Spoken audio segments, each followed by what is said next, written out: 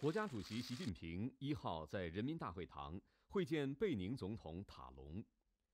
习近平强调，二十一世纪是亚洲的世纪，也是非洲的世纪。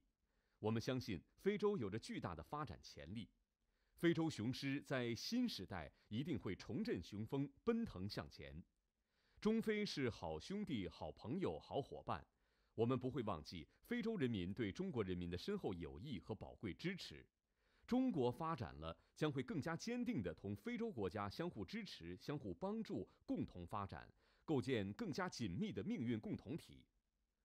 我们愿同贝宁交流借鉴治国理政经验，增进人文交往，共建“一带一路”，使其成为连接我们两个文明古国的新纽带。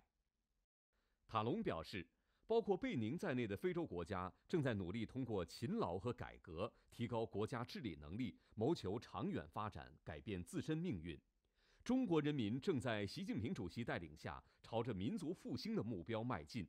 中国的成功经验值得非洲国家借鉴。中国的支持和帮助对我们非常宝贵，贝宁愿同中国加强交往，相信有了中国的合作，贝宁和非洲将实现加快发展。会见后，两国元首共同见证了双边合作文件的签署。